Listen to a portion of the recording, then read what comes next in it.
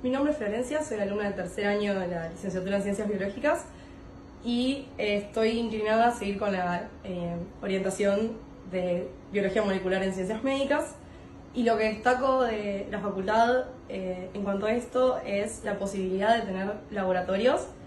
y aprender técnicas que en el futuro voy a utilizar, así como de aprender y trabajar